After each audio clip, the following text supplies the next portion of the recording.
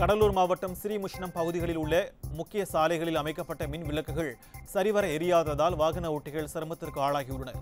சன்னதி விதியில் நான்கு சாலைகள் இணையும் இடத்தில் மின் விளக்கு எரியாததால் விபத்து ஏற்படும் சூழல் உள்ளதாக வாகன ஓட்டிகள் கூறுகின்றனர். இதனால் மின் விளக்கு எரிய பேரூராட்சி நிர்வாகம் உடனடியாக நடவடிக்கை எடுக்க வேண்டும் என்று வாகன ஓட்டிகள் கோரிக்கை விடுத்துள்ளனர்.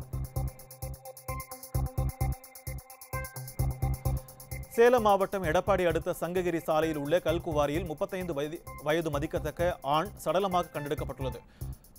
கல்குவாரியில் தேங்கியிருந்த தண்ணீரில் சடலம் மிதந்து கொண்டிருப்பதாக காவல்துறை மற்றும் தீயணைப்பு துறையினருக்கு தகவல் கிடைத்தது. இதனையடுத்து சம்பவ இடத்திற்கு விரைந்த அவர்கள் சடலத்தை மீட்டனர்.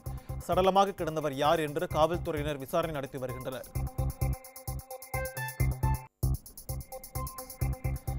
சிவகங்கை ஒருங்கிணைந்த மாவட்ட நீதிமன்ற வளாகத்தில் கூடுதல் கட்டடங்கள் வேண்டும் என்று சிவகங்கை வழக்கறிஞர்கள் நீண்ட நாட்களாக கோரிக்கை வைத்தனர். இதனை ஏற்று நீதிமன்ற வளாகத்தில் கூடுதல் கட்டடங்கள் கட்டப்பட்டன. இதனை சென்னை உயர்நீதிமன்ற நீதிபதி ஹேமலதா திறந்து வைத்தார். தொடர்ந்து வழக்கறிஞரிடம் பேசிய ஹேமலதா இளம் வழக்கறிஞர்கள் மூத்த வழக்கறிஞர்களின் அறிவுரைகளை ஏற்று நடக்க வேண்டும் என்று தெரிவித்தார்.